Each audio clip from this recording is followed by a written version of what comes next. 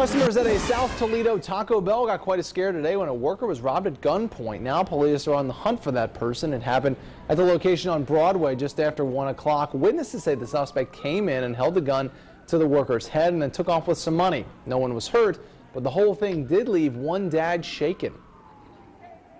It's, it's the way it is out here in Toledo now. Look at it. There's robberies and shootings all weekend, every day, you know, and it's just, it's just sad, you know, to see our city fall apart like this, you know.